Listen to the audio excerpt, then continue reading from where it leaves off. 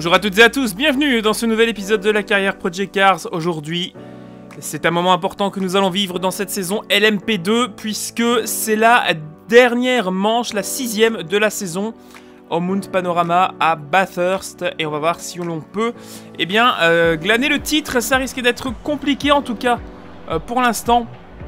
Euh, pas de présentation de la piste en séance d'essai libre parce que bon, Bathurst, vous la connaissez bien, cette piste australienne. On va sortir en qualification 10 minutes pour faire le meilleur temps. Vous connaissez la musique et ça commence à sentir tout doucement la fin pour cette carrière Project Cars. Alors certains vont crier youpi, d'autres seront un peu tristes, mais ne vous inquiétez pas. Je peux déjà vous dire qu'en va dire en interne, hein, dans, les coulisses du, du sim racing français, une nouvelle carrière est en train d'être mise en place et d'être calculée avec différentes catégories. Attention, on va laisser passer le collègue. On rappelle les voitures qui sont munies d'un numéro bleu sur les pontons, sur les portières. Si elles sont fermées, eh bien, ce sont des voitures de la catégorie LMP2. En rouge, c'est du P1. Comme ça, vous verrez bien autour de nous avec qui nous nous battons. Alors pour vous, vous allez découvrir cette vidéo peut-être mardi ou mercredi. Mais pour ma part, on est lundi. Et en ce lundi, on fête euh, la victoire de Max Verstappen au Grand Prix d'Espagne. Rendez-vous compte, le gamin, 18 ans, il a battu tous les records de précocité de l'ami Rodriguez qui était le plus jeune pilote à avoir remporté un Grand Prix, je pense. Si je ne dis pas de bêtises. C'était en 61 ou 62. À vérifier dans les archives, mais en tout cas, chapeau Maxou. Et c'était un gros week-end d'ailleurs pour le sport automobile néerlandais avec la victoire de Tom Coronel à Marrakech la semaine d'avant. Grosse semaine, pardon. Avec, euh, oui, Coronel qui avait gagné à Marrakech alors qu'il n'avait plus gagné depuis 2013. C'était avec une BMW. Rendez-vous compte. Alors, on va terminer le premier tour. Vous voyez que j'ai ajusté la balance de la répartition des freins parce que la voiture est très très instable. C'est ce que j'ai pu constater euh, pendant la séance d'essai. Et euh, cette dernière manche de la saison s'annonce bien compliquée. On va voir ce qu'on peut faire. Allez, c'est parti, on va déclencher le chrono. Voilà. on va essayer de rentrer proprement dans ce premier virage sans se faire surprendre. Voilà, au moment de remettre la puissance. Il y a beaucoup de patinage au niveau du train arrière. Il va falloir corriger ça pour la course. Parce qu'avec euh, l'usure des pneumatiques, ça risque de nous poser quelques problèmes. En tout cas, on continue ce tour qualificatif. On va partir dans la seconde section de la piste australienne. On est très prudent parce que la voiture est très instable. Je vous rappelle qu'on pilote sans assistance et avec les dégâts réalistes. Ce qui fait que si euh, la voiture subit quelconque contact avec le mur, eh bien le comportement euh, va euh, grandement changer. Et ici avec les retardataires et les 30 voitures en piste, on risque d'avoir quelque chose d'assez folklorique. En tout cas, il est vrai que la partie setup ici ne va pas être euh, très réussie et je compte sur euh, ma bonne étoile, comme souvent d'ailleurs, pour essayer de m'en sortir euh, pas trop mal. Notamment ici, qui est un virage très délicat. Alors j'ai une P1 qui me tombe dessus, c'est vraiment pas le bon endroit. ici je perds énormément de temps par le manque de stabilité de mon train avant.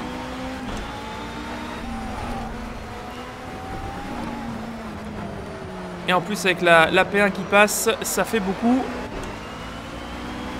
Il va falloir que je règle tout ça. Un petit peu de brume qui s'installe ici à, Bathurst. On va terminer ce premier tour en tout cas. Ça se passe bien. Un petit peu froid au niveau des, pneumatiques. Un peu court également au niveau de la boîte. Je vais rallonger la sixième aussi. Et on va repartir pour un deuxième run. Et on va régler un petit peu la stabilité de la voiture. Parce que là, ça ne va pas le faire. Vous voyez que je dois énormément tartiner à me battre avec le volant. Et le chrono risque d'être bien médiocre. Parce que même les P2 me rattrapent et me dépassent. Rendez-vous compte, voilà, ça c'est une voiture de la même catégorie que moi. Regardez où j'en suis, je suis nulle part. Je vais être sûrement 13 ou 14e, quelque chose comme ça. Au niveau euh, du général. On va rentrer et on va faire un deuxième run tout de suite. Et on va se lancer, voilà, dans notre tour rapide. A une minute 47, ce sera sans doute la dernière tentative. Il va y avoir du monde devant nous. Aston Martin qui va se remettre devant nous. Mais on perd du temps, c'est terrible ça.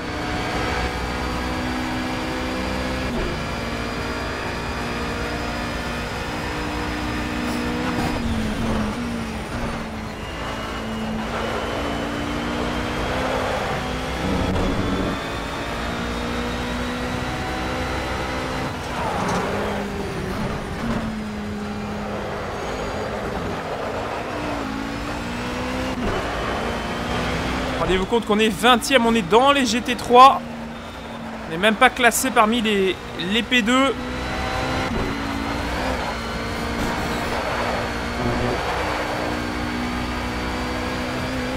Je prends des risques. En voulant rester à fond.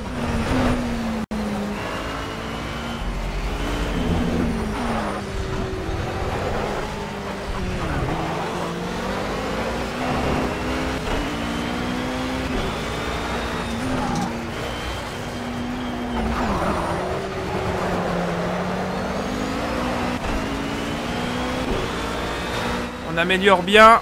On améliore même très bien. McLaren qui va essayer à droite. Oh Ça c'était beaucoup trop dangereux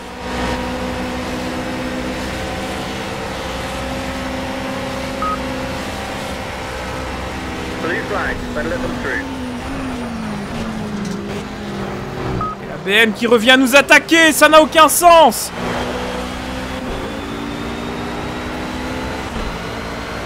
De qualification compliqué, mais on va améliorer. En tout cas, on est beaucoup mieux équilibré au freinage. C'est juste de la délicatesse à la relance.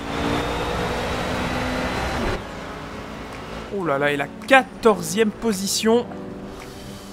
Ça s'annonce difficile pour demain. Derrière, dernière LMP2, derrière tous nos adversaires, il faudra partir demain. Et l'écart qui n'est pas énorme quand même, on est en 2.05, mais on n'a pas la vitesse, la course va être très longue.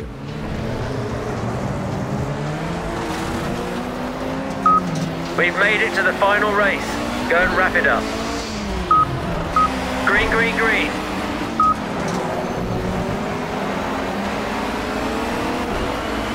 Et la dernière course du championnat WEC qui vient de débuter ici à Bathurst. On est parti pour une heure de compétition. Et il va falloir faire avec une voiture très difficile à manier. Et des lacunes en vitesse de pointe. On a pris un bon départ pour l'instant. On s'élance vers le deuxième secteur le plus serré de cette piste australienne. On a déjà dépassé Pete Paraskevas. On rappelle que le titre de champion LMP2 est au bout de cette épreuve. Et qu'il va falloir être réactif avec le contact déjà entre Nicolas Purdy et Josh Whitecomb. On a réussi à profiter de l'escarcelle laissée par les deux hommes, mais ça n'est pas terminé avec Josh Whitecomb. Dans la montée vers le sommet du Moon Panorama, il est toujours sur notre droite. Et il va falloir que l'on soulage si on ne veut pas aller au casse-pipe. Oh, et on peut croiser. Et vous l'avez vu, on a une excellente relance après ces quelques ajustements de setup effectués et on est déjà dans le top 5 de la division LMP2. On est à la moitié de ce premier tour de course. Et à la petite différence de ce qui n'allait pas en essai, nous sommes partis en pneus soft. Attention. Et on devrait pouvoir emmener l'Oreca 03 jusqu'à la mi-course sans problème avec la quantité de carburant à bord. On va juste checker sur le Motec où on en est au niveau des températures. Voilà, on est dans les 80. C'est tout à fait correct. Conditions brumeuses annoncées, annoncées par la direction de course. Et malheureusement, vous l'avez vu, le petit défaut de ce setup, c'est la vitesse de pointe. On pointe à 265 uniquement. Et ça nous demande de freiner très très tôt. Et Josh Whitcomb qui repasse. Attention, vient de glisser au sixième rang alors que l'on va conclure le premier tour pour la tête de la division. Je compte énormément sur euh, le jeu que va nous imposer le peloton pour euh, profiter de la différence de performance et reprendre ainsi quelques positions. Ce sera notre seul argument pour tenter de nous en sortir aujourd'hui à Bathurst. Un arrêt au programme à la mi-course après les 30 minutes d'épreuve. Et on est P6 pour l'instant.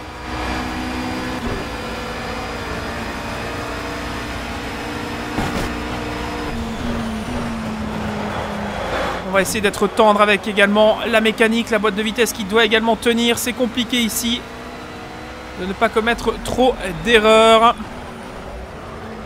Et pour l'instant, malheureusement, la tête de ce peloton qui est en train de fuir tout doucement est en train de prendre quelques secondes de retard, mais il ne faut pas se laisser abattre. On est dans la partie haute de la piste, la plus technique et la plus compliquée. Attention à ne pas être déventé. Oh, on frôle le mur ici. Et on est plus rapide. C'est le secteur sur lequel on devrait faire la différence, mais malheureusement, on ne peut pas doubler. C'est un peu le défaut de ce réglage. C'est qu'on est plus rapide, plus rapide dans le seul secteur où on ne peut pas doubler. On vient de se faire une grosse frayeur ici. Au moment de euh, passer les S du haut du circuit. Ici, un virage très délicat avec euh, les bosses. Au moment où il faut toucher les freins. Et l'équilibre de la voiture est souvent remis en question lorsqu'on aborde ce gauche. Et le ciel qui commence un petit peu à s'assombrir. Logiquement, on améliore notre chrono. Étant donné que c'est le premier tour euh, passé au transpondeur lancé. Et vous voyez le fond de sixième. On pointe à 266, 267 euh, dans le meilleur des cas. Mais on ne peut rien faire de mieux. En tout cas, on est un petit peu plus à l'aise sur euh, cette voiture malgré la quantité de carburant.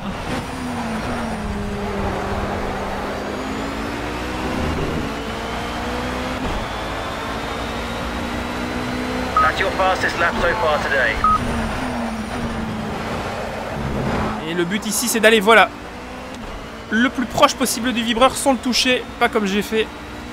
Sinon, ça euh, déstabilise la voiture et ça met le poids de la voiture sur l'arrière et c'est très, très, très désagréable. En tout cas, on est en train de remonter euh, tout doucement avec euh, Nicolas Purdy derrière nous. On entame de nouveau le secteur serré avec cette remontée absolument interminable qui est juste démentielle à prendre avec ces voitures qui ont euh, une capacité aéro assez développée. Et ici, c'est très compliqué, voilà, de se remettre en ligne avant de repasser la puissance au sol. The driver in front has extended his lead to one second. We're still with a shout here. Et vous voyez que, voilà, dès qu'on arrive dans le secteur euh, sinueux, je fais la différence avec beaucoup d'appui.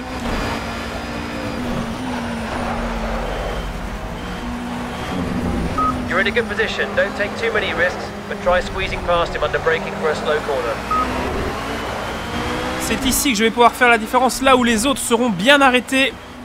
Au moment de dépasser les retardataires, moi je vais pouvoir venir euh, jouer les troubles faites et l'opportuniste pour euh, tenter de gagner quelques positions. On est bien ressorti ici, alors que sur ce secteur-ci, ça paraît bien sombre au niveau du ciel. On est un petit peu loin pour prendre l'aspiration de Josh Whitecomb. Et au niveau des pneumatiques, on va voir aussi comment ça va se passer. J'espère que le train de Soft, qui a très bien tenu lors des essais, va pouvoir nous faire la demi-heure sans souci. Et on est en train petit à petit de, combler l'écart avec euh, Josh Whitcomb qui nous prive du top 5 pour l'instant. Les trois premiers euh, sont déjà partis très loin. Comme euh, précisé depuis le début de la vidéo, c'est la dernière manche de cette saison qui aurait été bien chaotique. Your pace is dropping in and out a little bit. Try and refocus. Line up some good, strong, consistent lap times. Come on, this guy's just in our way. Big push now, let's fight our way past. Allez, on a de quoi tenir le rythme des garçons devant. À nous d'être un petit peu aidés. Et on sent que les euh, Alpines souffrent ici, ça se voit. Oh, et le dépassement absolument terrible. Et les deux pilotes qui vont aller euh, percuter les bords de piste. Est-ce qu'on peut en profiter pour euh, s'adjuger la cinquième place? On va tout tenter en gardant l'intérieur ici. L'Alpine qui referme. Oh, et on nous la petite dérive. Et Joseph M. Thomas qui est battu, mais qui a perdu deux positions en l'espace de, de deux virages. En tout cas, ce qu'on sait, c'est que les prototypes fermés en LMP2 sont beaucoup plus performants ici que les Alpines. Il y a clairement un gap entre les deux voitures, surtout au niveau aéro dans la ligne droite de retour. C'est assez perturbant. Alors que vous avez vu l'état de mon tour qualif, j'ai pu faire quelques petits réglages vite fait, notamment au niveau de l'équilibre. Et ça va beaucoup mieux sur les freinages, la voiture tient beaucoup mieux les bosses. Je l'ai tout simplement un petit peu euh, assoupli.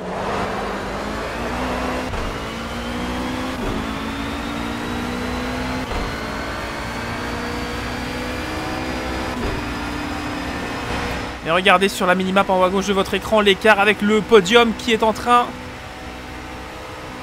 de s'étendre. Et le gouffre est presque créé. On va euh, compter sur les premières voitures rattrapées de la catégorie GT4 pour euh, nous proposer euh, peut-être une opportunité de remonter, de recoller à ce trio de tête. Pour l'heure, on n'en est pas encore là, on est dans la partie la moins intéressante de ces courses d'endurance, la partie où on est tous dans notre coin, les P1, les P2, GT3 et GT4. Et il faut attendre eh bien, le quart d'heure, voire les 20 minutes sur une piste comme celle-ci où le, le temps autour est de, 2 minutes pleines pour rattraper euh, les pilotes des catégories inférieures tout en gardant à l'œil euh, eh les P1 qui reviennent ici très très vite. Puisque euh, la différence de passage en courbe avec les, sports proto est démentielle. Et elles sont déjà quasiment dans le troisième secteur, en train de revenir du côté du dernier virage. Pour nous, on entame la forêt et on va percuter le rail.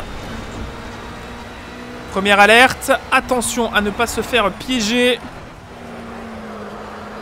On va vérifier aussi ce que ça donne au niveau euh, de la stratégie. Un arrêt, on va tenter ça comme ça. On va aussi au niveau du carburant jusqu'où tout cela peut nous emmener. On a compté euh, l'équivalent euh, d'une quinzaine de tours. Ce qui devrait être la mi-course avec une consommation moyenne de 3 litres au tour. Regardez, regardez à quelle vitesse je reviens dans ce secteur-ci. Et euh, la vitesse de pointe qui est vraiment le talon d'Achille de cette Oreca 03. On descend très bien ici, on ressort de nouveau très fort. Mais une fois de plus, on va être bloqué par le dessin de cette piste de Bathurst. Alors que ça bouge beaucoup sur les freinages, vous l'avez vu. Et on est bien ressorti. Oh, on peut peut-être aller chercher l'aspiration. Mais regardez la vitesse de pointe, la réaccélération, le couple de l'autre proto LMP2, on ne peut absolument rien faire. Ça m'étonnerait qu'il y ait une Alpine sur le podium d'ailleurs. Pour l'heure, allez 266, on va toucher les freins.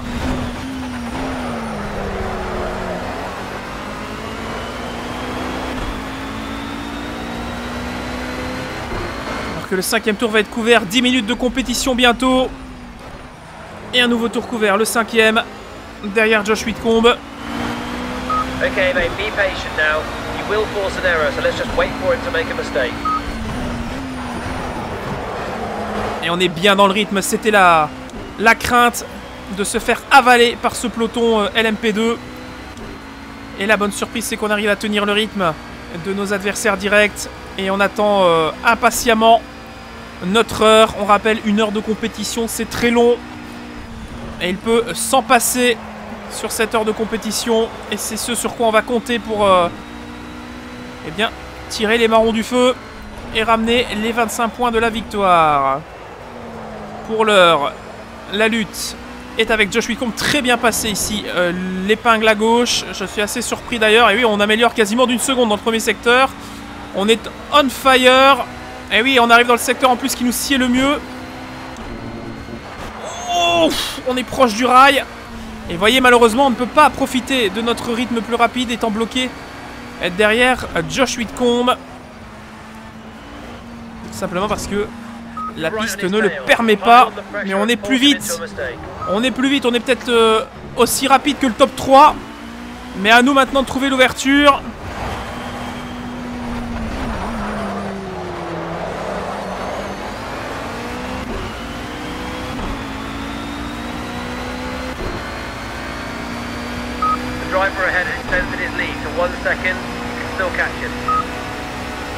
Et on est tout doucement en train de revenir sur le peloton. pas le peloton, littéralement le trio de tête. Et vous voyez qu'on doit freiner un petit peu plus tôt. On est un petit peu plus souple sur la conduite. En tout cas, ça y est. C'est le moment qu'on attendait. Vous le voyez sur la minimap. Les bolides de la division GT4 vont se mettre euh, sur notre chemin. Et là, ça va être euh, au petit bonheur la chance. Réussir à passer entre les mailles du filet. Dépasser les pilotes les plus lents dans le secteur les plus rapides et perdre le moins de temps possible là où nos adversaires risqueraient d'être bloqués dans le deuxième secteur le plus sinueux. Donc au niveau des températures des pneus, on est pas mal. Au niveau euh, de la euh, consommation, on est à moins de 3 litres autour, c'était la moyenne. De nouveau euh, dans les S. Et vous voyez la tête du peloton LMP2 qui est bloquée. Vous le voyez sur la minimap à la fin du premier secteur. Ils n'ont pas d'opportunité de dépassement, tout simplement. Ils sont obligés d'attendre que la piste leur donne la place nécessaire à passer.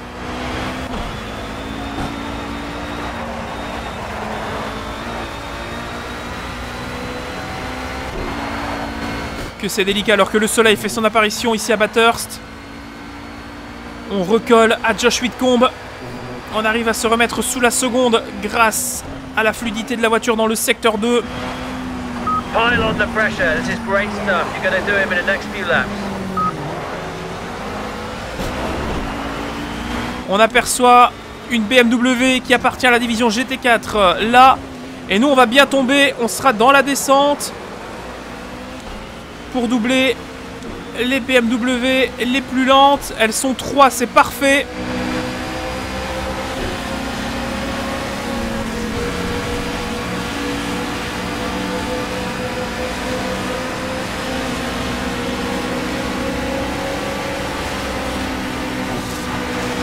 Ça passe pour l'instant. On va aller à l'extérieur, c'est peut-être pas la meilleure solution. C'est passé sans coup férir, mais on n'a pas gagné de position. Les 3 BMW GT4 ont été avalés. On continue notre progression. Vous voyez que devant, on est gêné. Et on recolle aux 3 leaders de la division LMP2. Ce début d'épreuve qui se passe très très bien pour nous. Après un quart d'heure de compétition, nous sommes P5. Mais proche de faire le move. Devant les Aston Martin hybrides et GT4 qui se bougent.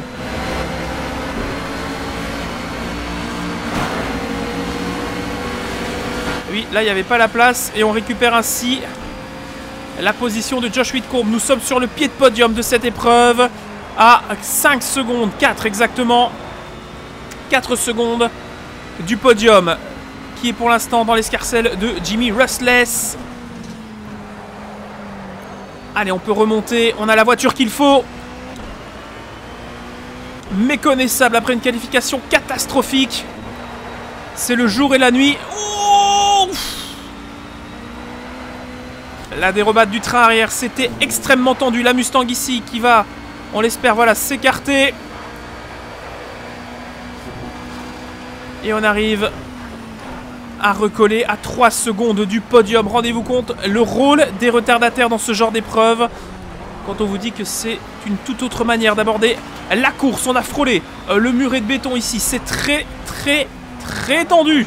Avec euh, le train arrière qui commence euh, à devenir un petit peu plus joueur dans ce deuxième quart d'heure de course. Et la relance vers le troisième secteur, l'Aston Martin qui devrait normalement nous laisser passer sur la gauche. C'est fait, il n'a pas eu le temps de réagir. Et nous sommes maintenant à moins de 2 secondes des pilotes composant le podium. Et on va tout faire pour que bientôt ce soit nous qui occupions au moins cette troisième marche. Regardez, il est bloqué il est complètement bloqué. Jimmy Rustless, là, pour aller dépasser la Stone Martin, la Mustang, pardon. On n'avait pas bien vu euh, de qui il s'agissait, là. C'est toujours cette Mustang verte et blanche, numéro 37, euh, je crois. Qui était assez, euh, assez perturbatrice à Dubaï, rappelez-vous. Allez, on double la Mustang verte et blanche. Nice pace. Just try and pick it up a little bit. You're very consistent. Now you can just dig out a few extra tenths of a second. Là, on a fait une petite erreur dans ce premier gauche. On a raté complètement la relance. Mais c'est pas grave, on est P3, rendez-vous compte. Et Josh Whitcomb qui vient de s'emparer du pied de podium. Il suit derrière Josh.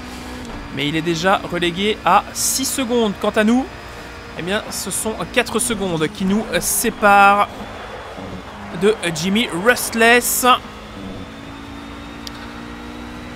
Et lui-même est, je crois, euh, perturbé par euh, encore un des derniers pilotes de la division GT4 ou non, ce sont les deux leaders Le contact de nouveau. Ah là là. Le contact avec le mur. Pour l'instant, ça reste gentil pas de, problème au niveau de la direction. Tout est encore en ligne. Ce ne sont que des petits rappels à l'ordre pour l'instant. Les pneumatiques tiennent, on vous l'avait dit. On ne pourra pas aller au bout avec des pneus euh, tendres. Quoique, vu comme c'est parti, on va peut-être même réussir à aller jusqu'au bout avec des pneus tendres. On va voir. Euh, comment réagir en temps voulu pour la stratégie, j'y pense déjà.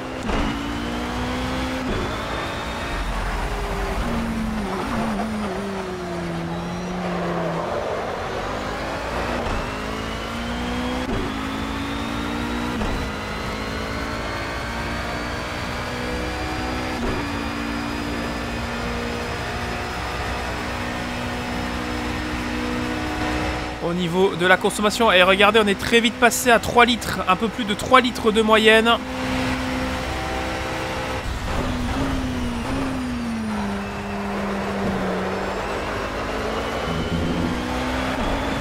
Oh, et là, c'est nous qui avons failli faire la différence euh, de nous-mêmes. Et eh bien, à l'issue du 9 tour et euh, après les dépassements des GT4, on est plutôt pas mal. You've got great pace, it's super consistent. Just try and put together some slightly faster laps and you'll catch the field.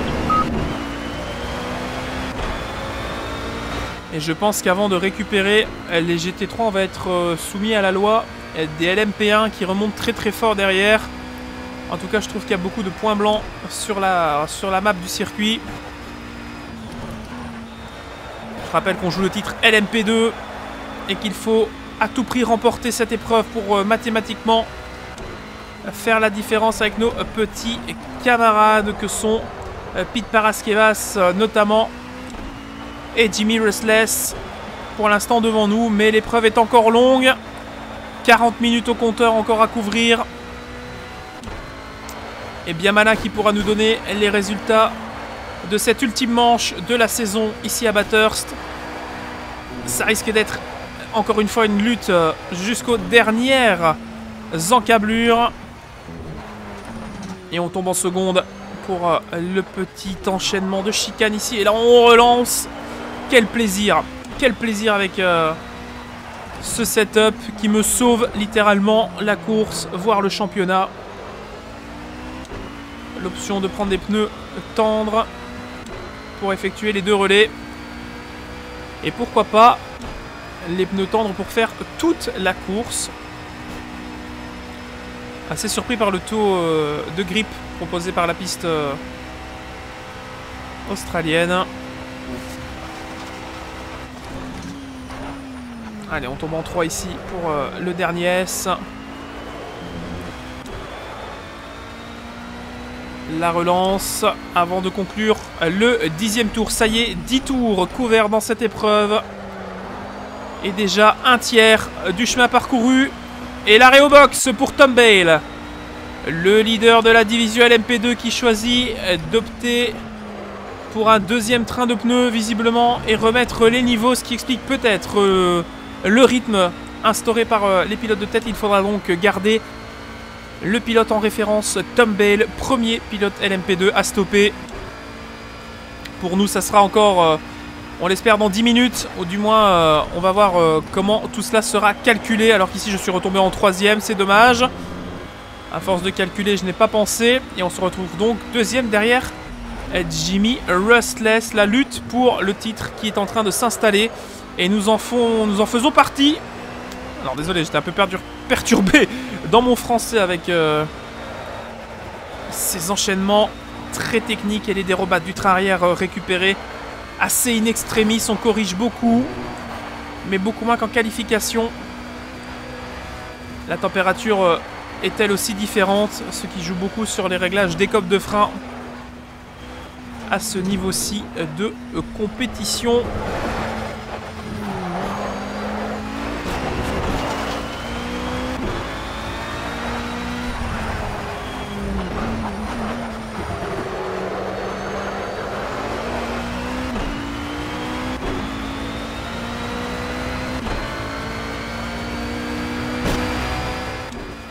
Au niveau du rythme, vous le voyez, une seconde, une moins vite.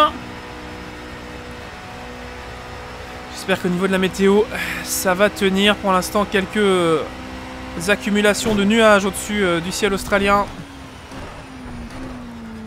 Mais euh, pour l'instant, pas d'alerte pour nos amis. Australiens. On va vous laisser vivre un tour en caméra embarquée pour vivre toute l'essence de cette course. Montez le son et je vous reprends juste après. Okay, let's try and stabilise these lap times now and keep focused.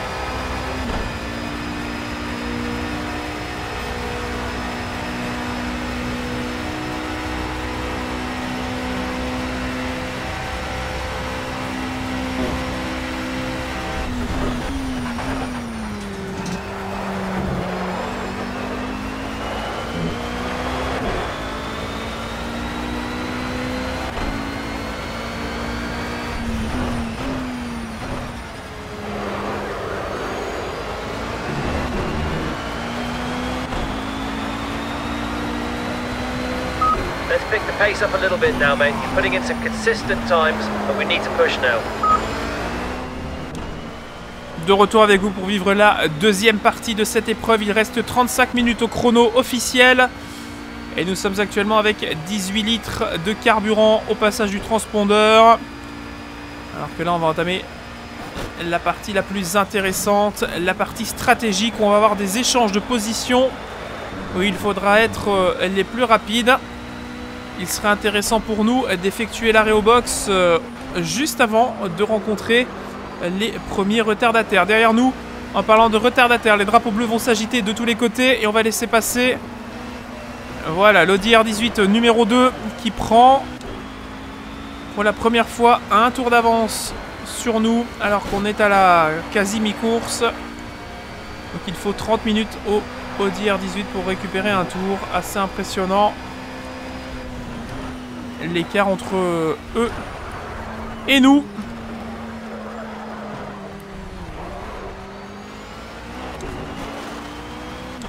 Toujours euh, toujours euh, un œil du côté de la consommation, ne vous inquiétez pas.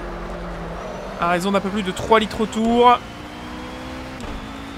On va stopper quand il nous restera euh, entre, euh, entre, euh, entre 6 et 4 litres. Au niveau de la moyenne de consommation, on est à 3,15 effectivement. Vous le voyez. Et 3,6 en moyenne.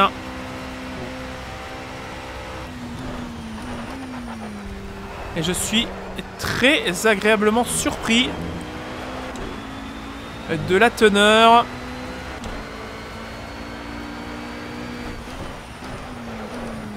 De ces pneus soft qui je pensais allaient être euh, tout simplement broyés.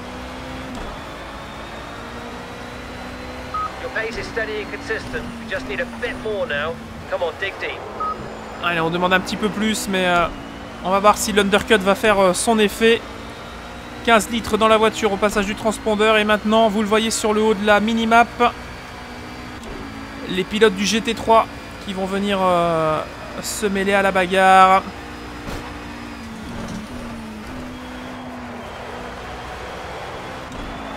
J'ai envie de tenter le coup de ne pas changer de gomme.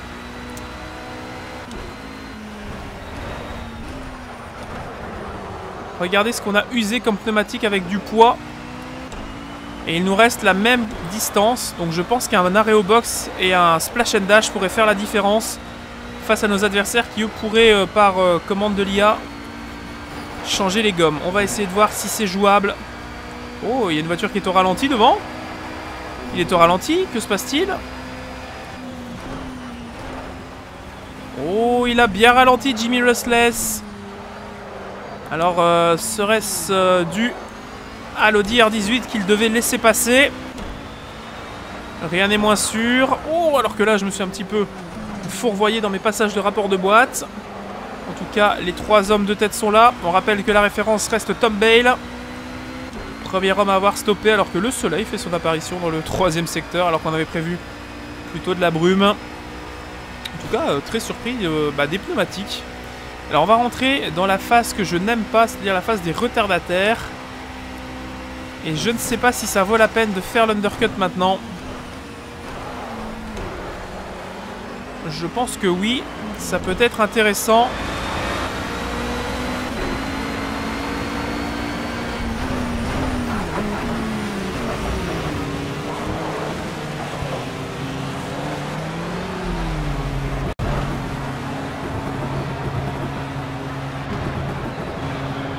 Alors, pour notre arrêt box, on va remettre 18 tours de carburant. Ça devrait... Euh, être euh, suffisant puisqu'on a fait 15 tours. Et on ne va pas changer les gommes. Et c'est là qu'on va peut-être euh, tenter notre coup. On garde Tom Bale en référence. C'était le leader de la division tout à l'heure. On attend sur la minimap en haut à gauche de voir peut-être Tom Bale arriver. Pour l'instant, c'est Pete Paraskevas qui n'a pas encore stoppé. Nicolas Purdy non plus. Andri Strojops non plus. Allez, 56 litres. 9. Nous avons largement de quoi aller au bout. Avec 18 tours de carburant. Il va maintenant falloir être les plus malins. Avec nos pneumatiques et amener cette Oreca à la meilleure position. Et on est bon dernier, mais, mais, mais, ne vous inquiétez pas. Ça devrait se résorber dans les prochains tours. Attention, il va falloir remettre la voiture en température parce qu'elle a un petit peu refroidi lors de son passage au box. La stratégie des pneus tendres, j'y croyais pas. Je n'y croyais pas. Et oui, là, il va falloir tout remettre dans, dans la zone verte. Et on a évité tout le trafic.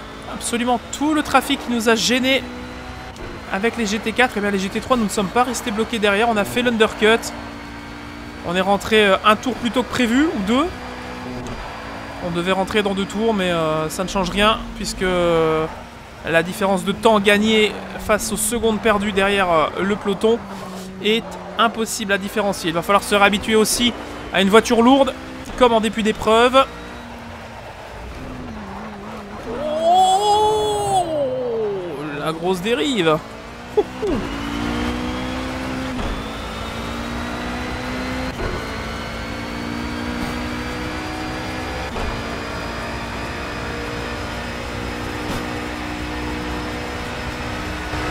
Mais il faut le faire cet arrêt quoi qu'il arrive. Le réservoir de la voiture ne permet pas d'arriver au bout. Et vous voyez qu'on est un peu plus lourd. Hein. On perd 3 km en bout de ligne droite. Et on doit surtout freiner plus tôt parce que la voiture est plus lourde à freiner. Premier tour un petit peu chaotique. Devant nous, des pilotes au box peut-être. Non, et regardez tous les pilotes qui sont au stand et que l'on va pouvoir dépasser sans se tracasser. Ça, c'est tout ce qu'on a évité comme trafic.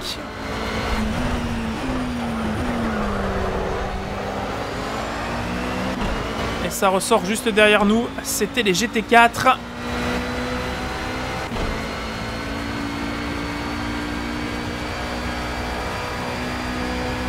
Que quelques doutes concernant ma stratégie. Je vois que les pneumatiques tiennent bien. Ils sont chauds.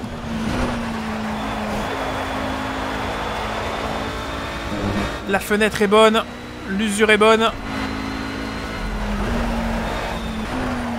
J'irais même jusqu'à dire que la musique est bonne, mais il n'y en a pas.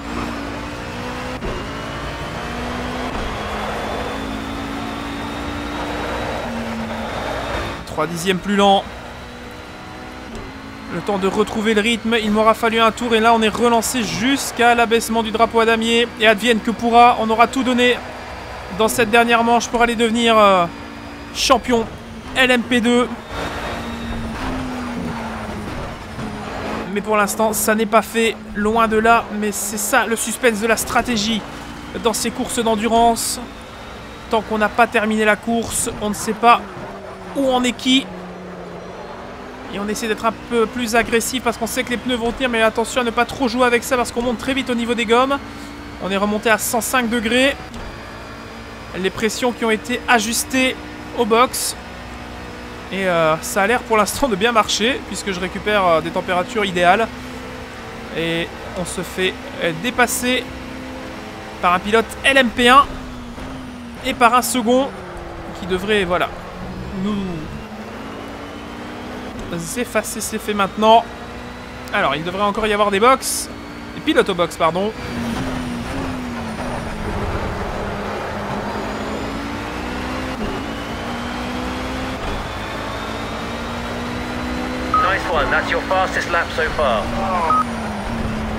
Vous avez vu la différence que me procurent ces températures de pneus? Être aux alentours des 100 degrés. Ça réduit la, la différence d'usure. Alors que devant les deux P1 sont en train de se manger une, une GT4. Et c'est très compliqué pour nous. Oh grosse frayeur. Attention à ne pas enchaîner les heures parce que les pneumatiques risquent de ne pas apprécier. Il faut pas non plus, voilà, en demander de trop à ces gommes parce que ça pourrait être euh, la catastrophe. Pour l'instant, tout fonctionne bien. Et on a perdu 5 secondes pleines, quasiment. Alors que là, on arrive dans une situation que je déteste, c'est-à-dire le secteur 2 avec une GT4 devant et une P1 derrière. Oh, et la BMW qui ne nous a pas vu. Et la P1 qui fait l'extérieur et qui va dans le gravier, évidemment Mais comment est-ce possible Mais le temps que l'on perd, la P1 qui est totalement sortie. Ah, je vous avais dit que ces situations étaient dangereuses.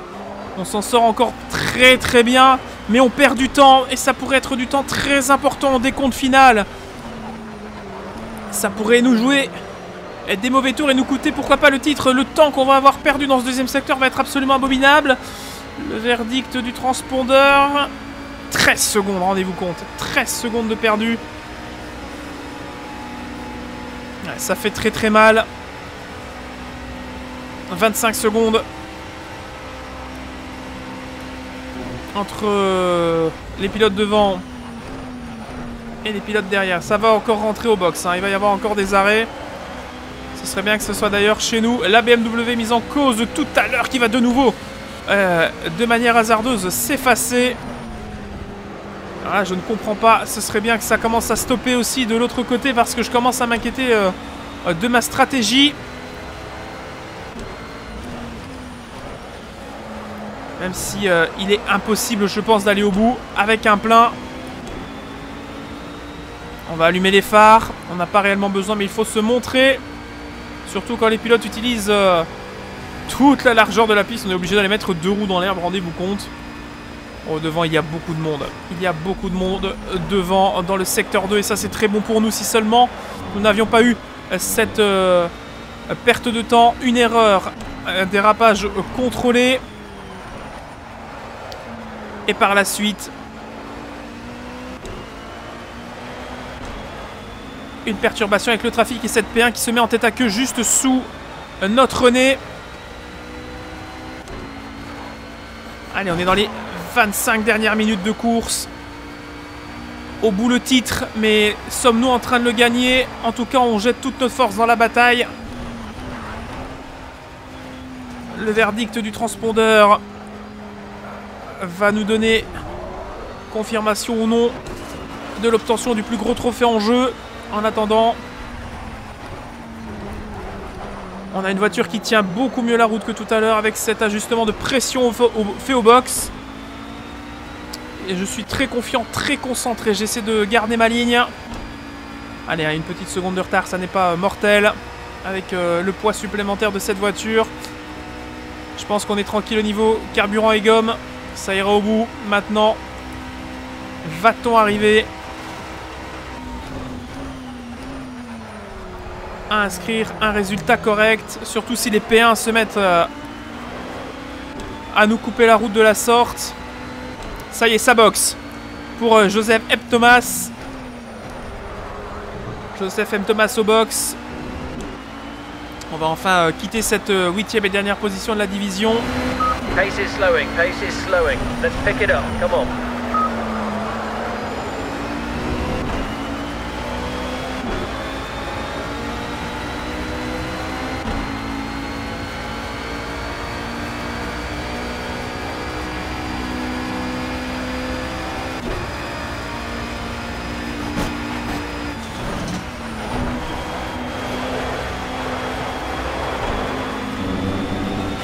Pas pourquoi j'ai tendance à redescendre en troisième dans ce droit.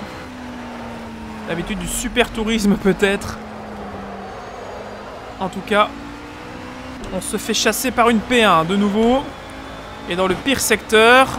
La dernière fois ça s'était mal passé, rappelez-vous.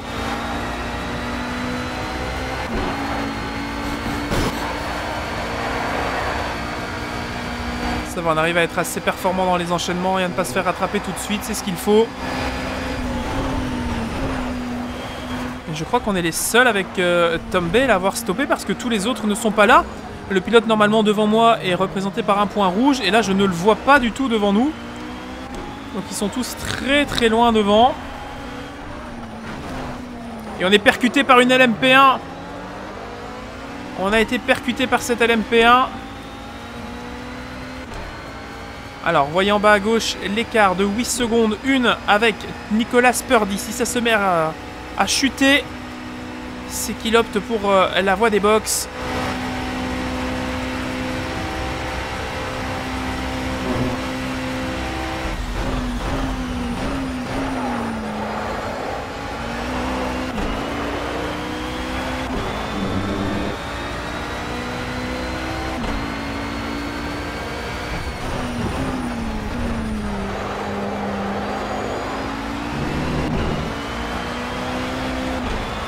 L'arrêt au stand de Tom Bale qui nous cède la sixième position. Est-ce qu'on est en train d'aller le faire? Ce serait beau. Mais j'ai des doutes. Si euh, le temps laissé par la fenêtre de 20 minutes maintenant, 20 minutes, va nous laisser le temps d'aller chercher nos petits camarades. Regardez devant le point rouge. C'est Nicolas Purdy.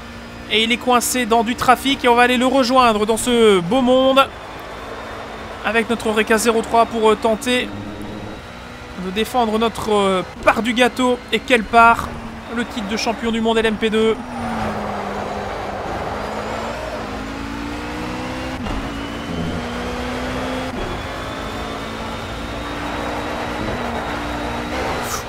allez, on continue les enchaînements, on prend beaucoup, beaucoup de risques dans cette euh, partie-ci euh, du circuit parce qu'on sait que c'est ici qu'on fait la différence. On va se retrouver derrière un prototype euh, à 3 secondes devant nous, ça doit être un LMP1. Euh, serait-ce... Serait-ce... Nicolas Purdy déjà? Eh non, il est plus loin. C'est une LMP1 qui s'est perdue. La Porsche qui ne s'est pas écartée. Allez, on perd du temps à cause de cette Porsche.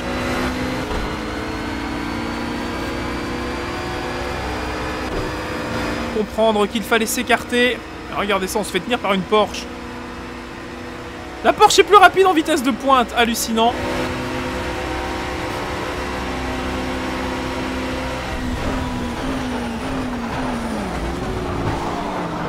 Mais on va pas se mettre dedans à cause d'une euh, GT3, ce serait dommage. Allez. Allez, ça repart. Petit contretemps dans notre progression.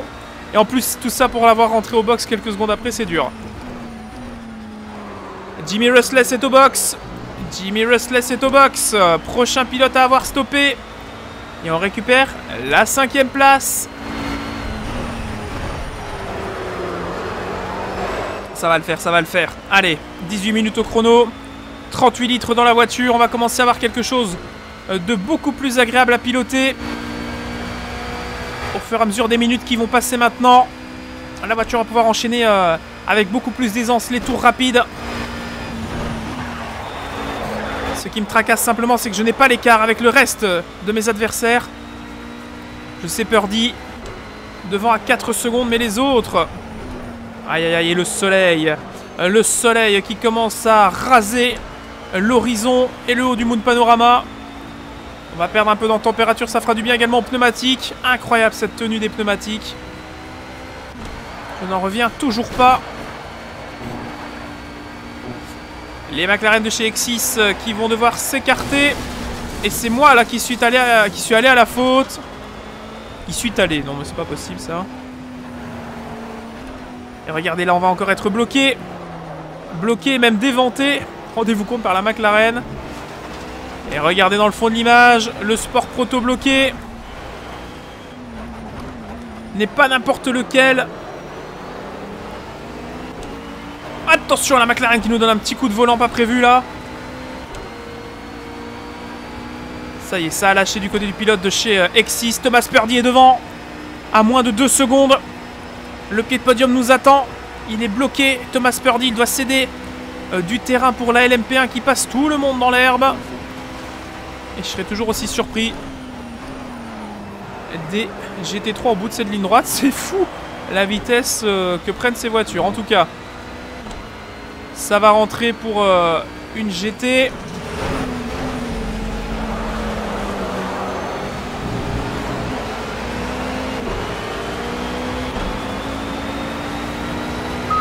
Pace is slowing a little. Refocus and go for it.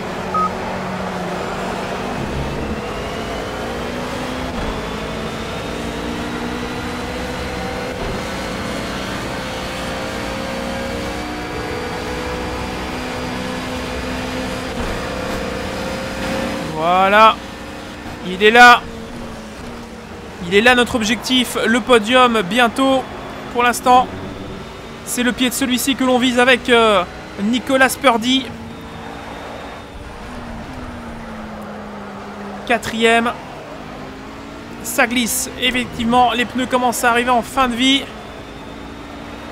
On a perdu 7 dixièmes dans le secteur, mais ce n'est rien Et on percute un petit peu le mur. Attention.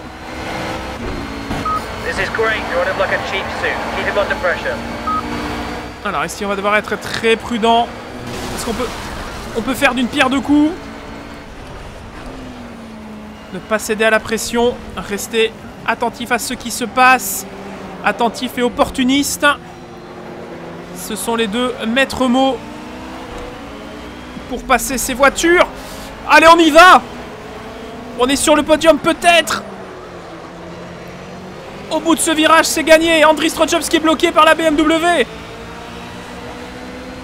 Ouf. Alors là, on a assisté à quelque chose de très très chaud. Et nous sommes 20 secondes derrière Andris Strojobs.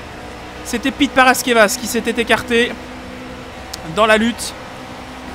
Mais là, on a gagné deux positions et l'écart est assez conséquent. Avec euh, les pilotes de devant. Oh, 15 secondes, 14. L'arrêt au box pour Andris Strojobs, c'est notre chance. Avec juste derrière nous, donc Pete Paraskevas qui a monté des gommes neuves.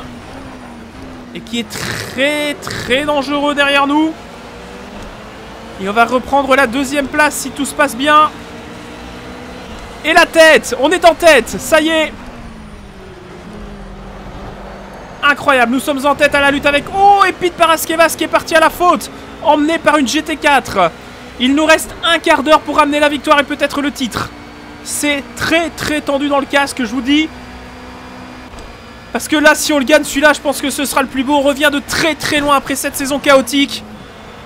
Mais c'est pas fait. C'est pas fait. Il reste un quart d'heure de compétition ici à Bathurst avec le soleil qui continue à jouer son rôle de perturbateur. Regardez, dans les freinages, comme si ça n'était pas assez difficile. Dilamar Martinez devant ne nous concerne pas. C'est un pilote LMP1. Nous sommes en tête de la division LMP2. C'est fait. La stratégie avec le double arrêt n'était pas la bonne. La stratégie au simple arrêt et au pneu soft fonctionne jusque-là. Il faut maintenant éviter que les gommes eh bien, ne s'effondrent à moins de 13 minutes de l'abaissement du drapeau à damier. L'attention et la concentration sont maximales sous le casque. On a une Audi R8 ici à dépasser. Allez, on passe. Ça se passe sans coup férir. Ça s'écarte bien sous euh, la règle du drapeau bleu. Allez, petite perturbation ici euh, du train arrière. Mais ça nous met 2 secondes 4 devant euh, Nicolas Purdy. Ce qui est une bonne chose puisque Pete Paraskeva c'est bien plus dangereux au niveau du championnat. Et pour tout vous dire, je ne sais pas au moment où on passera la ligne d'arrivée, si on sera champion ou pas, il faudra attendre le verdict. Le verdict du classement. En tout cas, le 23e tour va être bientôt couvert. Alors que l'on remonte une McLaren de chez X6 derrière l'Audi qui arrive à tenir un petit peu. Visiblement, il n'y a plus d'arrêt prévu chez nous. À moins d'une catastrophe en fin d'épreuve. Mais on va tout faire pour ramener cette Reca 03 au terme de cette épreuve. C'est très, très, très tendu ici. Je peux vous dire qu'on a quasiment les, doigts croisés sur le volant. Oh, et ça s'arrête de nouveau Ça s'arrête derrière Nouvel arrêt, c'est Jimmy Rustless qui reprend la deuxième place. Attention au calcul. L'arrêt qui n'était pas prévu pour nous. Et la deuxième place de Jimmy Rustless, c'est peut-être euh, la mauvaise affaire. Attention. Euh, restons tout de même attentifs à tout cela. On ne va pas se précipiter à dépasser la McLaren. Nous sommes en tête, c'est le principal. On est mal tombé avec euh, cette McLaren. Et c'est terrible, c'est terrible parce qu'on est beaucoup plus rapide. Ah non, malheureusement, c'est ce que je voulais éviter, navré. C'est le contact, mais il ne veut pas lâcher.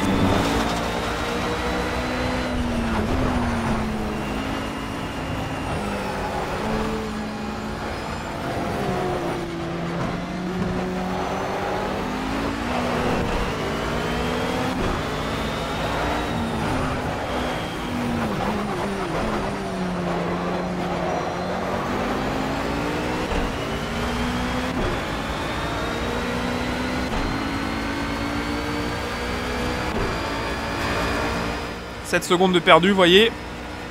Le petit contact avec la, la McLaren et donc Jimmy Rustless à 8 secondes. 3 derrière et peut-être le titre au bout de ces 10 minutes de course.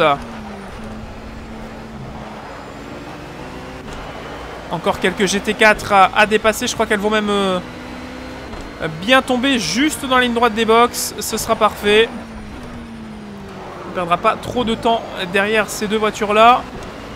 Ah, peut-être l'Aston Martin, quoique... Your lap time's a little bit inconsistent. Focus on those braking markers. Stay sharp. You can do it. On va jeter un coup d'œil au niveau de la consommation.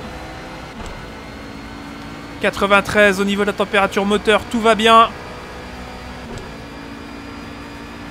Tout va bien. On est à moins de 3 litres de consommé depuis la libération des retardataires et le temps perdu. Mais attention, Jimmy Restless qui remonte. Il est à 5 secondes. Il était à 8 tout à l'heure.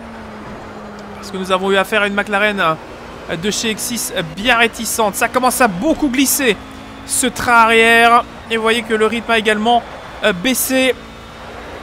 Et le soleil comme si ça n'était pas assez. Qui vient se mêler à la fête. Pas de pluie, heureusement. Après euh, la catastrophe de Suzuka et la roue perdue. Rappelez-vous, la disqualification au Mans, c'était déjà très très dur. La sortie de piste sous la pluie alors qu'on était en tête du côté de Suzuka, ça fait deux pertes de points importantes. Et là, on va peut-être aller chercher une victoire. Alors qu'il y a des morceaux euh, qui viennent probablement d'un proto LMP1 si j'ai bien vu, qui sont euh, dans la descente, on les a percutés. Pas de gros risques. Tom Bale qui est maintenant deuxième. Tom Bale qui est peut-être en train de nous offrir le titre avec cette deuxième place, privant Jimmy Rustless de gros points. Et Pete Paraskevas aussi. On est encore à 265. On voit que le réservoir se vide. La vitesse de pointe augmente.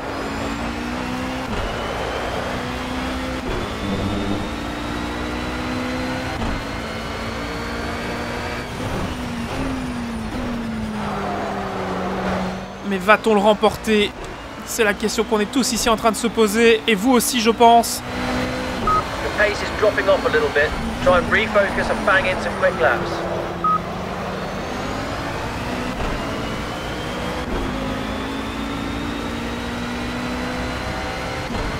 Ce qui est en train de subir la voiture au niveau des pneumatiques, ça va, ça va aller. Peut-être l'avant droit est un petit peu chaud, mais l'usure est tout à fait respectable, après 53 minutes de compétition ici. Incroyable ce qu'on est en train de, de vivre ici, sincèrement. Ce serait la conclusion du dernier championnat de cette carrière Pécard. Avant la mythique épreuve des 24 heures du Mans.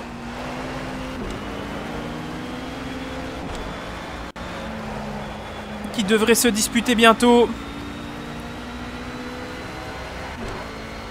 Peut-être, je ne sais pas s'il va y avoir saison LMP1 ou s'il y aura simplement les 24 heures du Mans, on verra bien. Mais euh, ce n'est pas le dernier épisode de cette carrière Project Cars, je vous le promets. On terminera comme promis aux 24 heures du Mans en LMP1.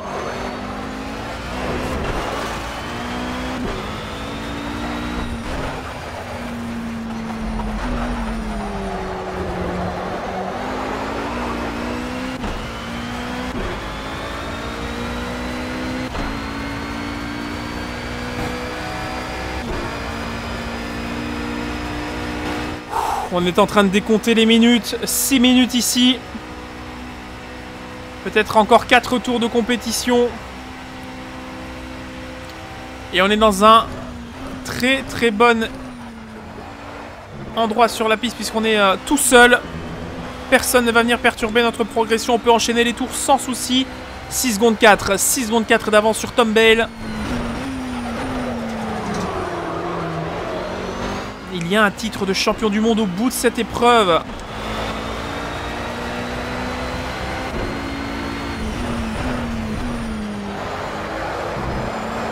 Alors ça va repartir pour une P1. On n'aura même pas l'occasion d'aller la dépasser. Elle est euh, beaucoup trop puissante pour nous. Attention parce que derrière Tom Bale il revient très très fort dans le euh, troisième secteur. On sait sa voiture plus à l'aise et regardez on va tout de suite reprendre un, un petit avantage quand on va arriver dans le second secteur que voici.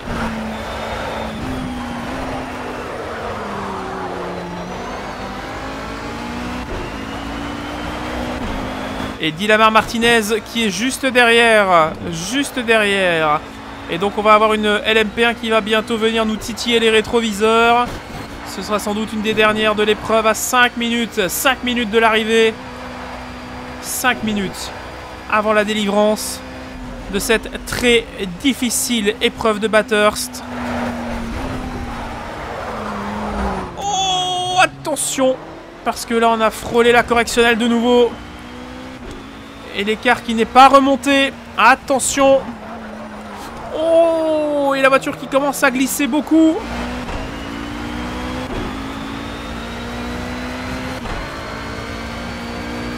Et Tom Bale derrière. 5 secondes 8 pour Tom Bale. 5 secondes à tenir. 4 minutes 30 au chrono.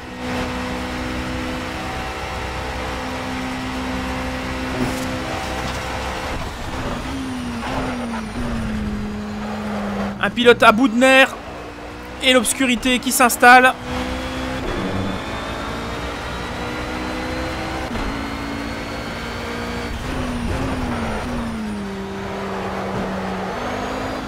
À moins de 4 minutes, je pense qu'on entame l'avant-dernier tour de cette course.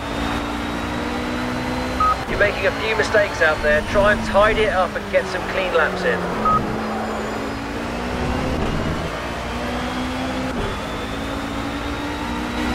Allez, 3 secondes. 3 secondes d'avance sur Tom Bale. Il faut que ça tienne deux tours, ces 3 secondes. Par contre, on va avoir droit à la LMP1 en pleine ligne droite.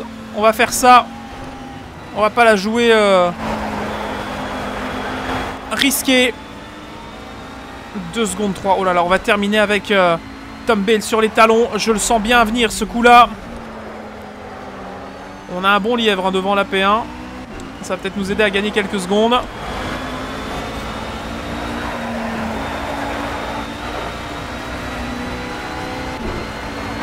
Oh, le retour de Tom Bale dans le dernier tour.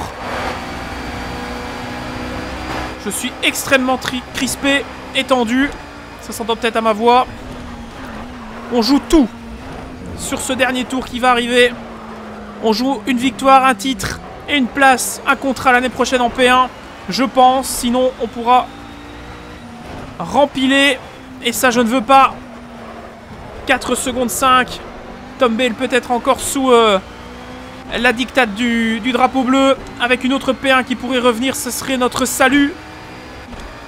Si Tom Bale revenait, ce serait une catastrophe. Et je crois qu'on va assister au dernier tour de course. D'ici quelques instants, ça va de nouveau se jouer à la seconde près. Tout le stress et la voiture qui glisse. Elle est dure à piloter cette Oreca. Mais elle aura fait le travail. Cette voiture, des retardataires à rattraper bientôt. Je pense pas que ça va nous concerner dans cette épreuve. La voiture est morte. Je n'ai plus rien dans le train avant. Nice one. That's your fastest lap so far. Dernier tour de la saison ici en WEC. Et 3 secondes d'avance sur Tom Bale. Il faudra faire les comptes après. Hein. Je vais pas sauter de joie une fois euh, le passage du drapeau à damier. Mais euh, va falloir faire les comptes. Parce que celui-là, si on le remporte, je pense que ce sera le plus beau. Ou en tout cas, le plus mérité des titres de cette carrière Pécard. Parce qu'on en aura vu, vécu. Allez, on reste concentré jusqu'au bout de cet ultime tour alors que les nuages sont en train de nous accueillir pour la dernière fois de la saison. La partie haut du circuit, celle que l'on préfère, la plus technique, la plus agréable à prendre avec cette voiture. Devant des retardataires, on va finalement en prendre un ou deux euh, dans les dents. Et pas au meilleur endroit en plus, ça c'est dommage. En plus, ce n'est pas du GT3, c'est du GT4. Ce sera peut-être un petit peu plus simple à doubler. Oh Le contact avec le mur. Deux secondes derrière, attention. Il va y avoir beaucoup de monde dans ce dernier tour. On va freiner. On va tenter de passer la BMW. Ce qui peut être une sécurité. Allez, la deuxième ici. La deuxième BMW qui nous a vu, ça y est. Une seconde 6, il est derrière Tom Bale. Deux secondes maintenant. Ouais, il est un petit peu bloqué derrière la BMW. Je pense que ça va être bon pour nous. Ça va être bon pour nous. Il va rester un freinage à réussir. J'ai la jambe qui tremble. Dernier freinage. Le chrono est terminé.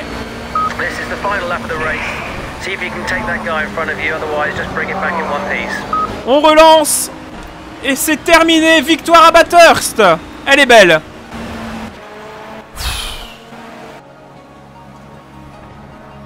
Elle est belle. Alors, le moment fatidique. J'ai peur de cliquer. Parce que je suis nul en calcul, dites-vous. Donc, euh, victoire donc. Victoire donc aujourd'hui devant Tom Bale et Josh Whitecomb. On prend donc 25 points. 18 pour Tom Bale. Est-ce que nous sommes titrés? Suspense. On est champion Incroyable Oh la vache Oh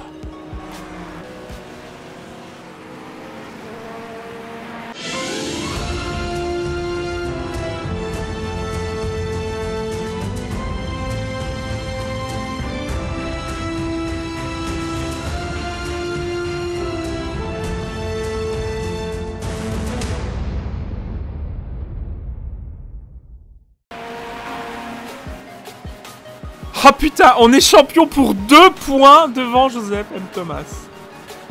Doublé de l'équipe Asphalt Thunder.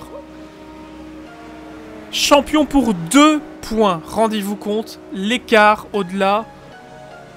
C'est Thomas Purdy à 8 points et 10 points pour Josh Whitcomb. C'est-à-dire que tout pouvait se jouer sur la dernière course. Rendez-vous compte. Compte. Et c'est Tom Bale. Tom Bale qui termine deuxième, qui nous sauve le championnat littéralement avec ses 64 points. C'était, c'était, c'était très très tendu. Bah écoutez, merci beaucoup, sincèrement, d'avoir suivi cette carrière projet de car. J'espère que j'ai pu vous faire vivre toute l'émotion qui était mienne dans cette dernière course de la saison, mais non pas de la carrière. On se retrouve très vite pour de nouvelles aventures et pour découvrir, euh, pourquoi pas, le dernier épisode de celle-ci. En tout cas, n'hésitez pas, si ça vous a plu et si ça vous tente de mettre un pouce bleu, je ne le fais jamais, mais là, pourquoi pas. Et de vous exprimer bien sûr dans la section commentaires. Merci les amis pour votre fidélité et bon amusement en piste. Ciao